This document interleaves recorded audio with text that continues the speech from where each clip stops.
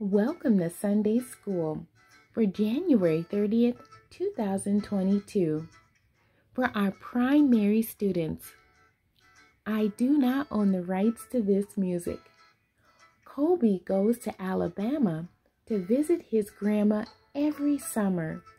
Grandma Rose always shares stories about her childhood.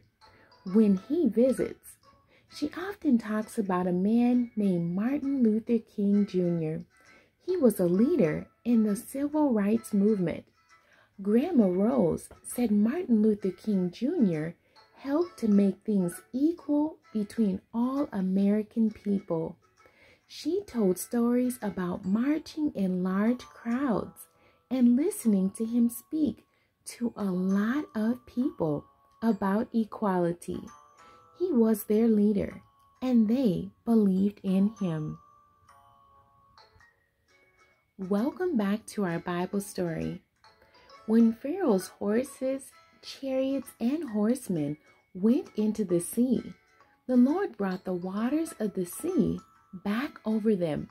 But the Israelites walked through the sea on dry ground.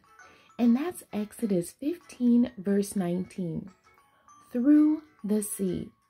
Moses and the children of Israel saying, The Lord is lifted up. He is my strength and Savior, and I praise him.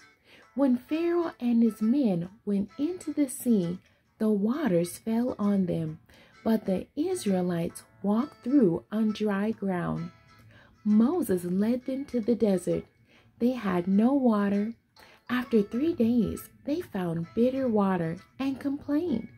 The Lord had Moses put wood in it.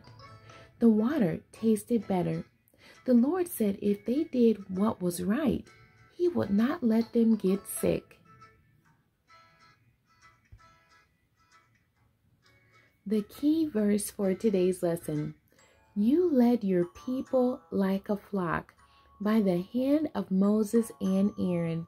And that's Psalm 77, verse 20. God bless you and thank you for joining me today.